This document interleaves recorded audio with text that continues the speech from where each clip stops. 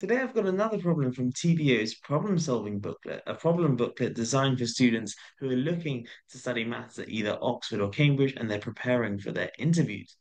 This problem, we want to determine the function f of x, which satisfies the functional equation x squared times f of x plus f of 1 minus x equals 2x minus x to the 4.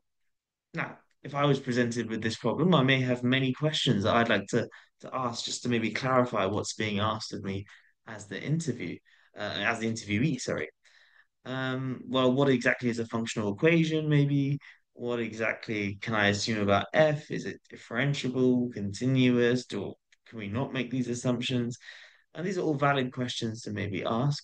I'm just going to clarify the first one. What do we mean by a functional equation? Well, it's just an equation that involves, well, a function, but that function needn't just be defined explicitly. In this case, it's definitely not because we have f of x and we also have f of 1 minus x in here. So I can't just rearrange this to make f of x the subject because the other side will have this term in. Hmm. So what would you do in an interview? How would you approach such a problem? Well, one thing you can do with almost any interview problem, if you're not really sure how to approach it, is just play around with it. So in this case, it's quite easy to do. Play around with this by substituting in some values of x.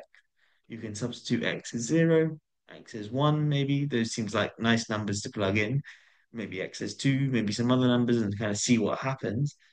Um, but I'm actually not going to do that here just because experimentation is interesting, but I've already solved this problem and I kind of want to dive straight into the solution. But I encourage you to pause the video and do experiment with this and see if you can find any interesting patterns. But let's dive into the solution here. What I'm going to do is replace the x's in here with 1 minus x. Seems a bit random, but it's definitely valid because this is true for all values of x. So it's true in particular if I swap x for something else. So if I swap all the x's for 1 minus x, this equation should still be true. Now, what motivates me to do that? Why, why should I just swap the x's for 1 minus x? Well, the reason is because if I swap this x for 1 minus x, well, it just makes this 1 minus x. But if I swap this x for 1 minus x, 1 minus 1 minus x is just x. And so this is quite cool. It kind of swaps the x's and the 1 minus x's. So let's do that. We get 1 minus x squared times f of 1 minus x plus f of x equals two lots of 1 minus x minus 1 minus x to the 4, like so. This is pretty cool. And then maybe what you realize is this is just another equation with f of x and f of 1 minus x in. And at the start, we had an equation with f of x and f of 1 minus x in. This is just a simultaneous equation problem. We can replace this f of 1 minus x here with, well, just from rearranging this first equation.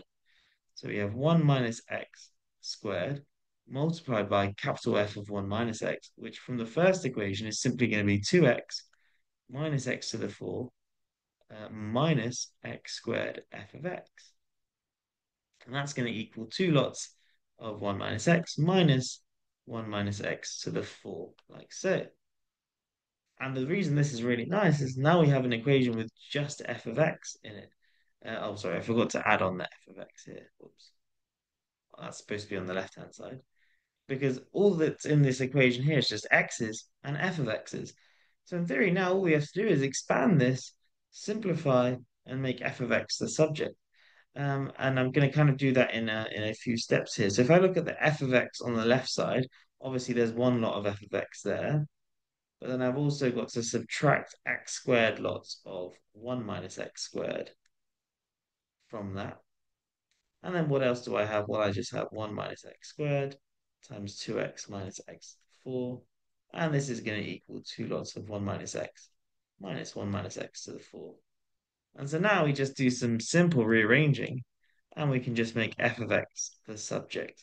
This is going to be two lots of 1 minus x minus 1 minus x to the 4 minus this guy, which is minus 2x minus x to the 4 times 1 minus x squared. And then all of this divided by this messy term here. So 1 minus x squared times 1 minus x squared, like so. And now potentially there's room for simplification. In fact, the well, there may be, there may not be, I'm not too sure. You can maybe do the difference of two squares on the bottom here and there could be some nice simplification, but I'm actually not too interested in that. That's pretty trivial, not super exciting. But that's how we solve this problem. We make this really nice observation that f of x and f of 1 minus x are closely related, but if I just swap the x with 1 minus x. And you actually see this technique used quite a lot, especially, for example, when you're doing integration to make a really nice u substitution to show that one integral is the same as another integral. Anyway, I'll leave this video here for the uh, for today. Um, thank you for watching. If you are new to the channel, please do give this video a like and do subscribe. I have loads of videos like this where I go through interesting, challenging problems which you may potentially see something or something of the form in an Oxford or Cambridge maths interview. Thanks so much for watching. I'll catch you in the next one. Have a great day.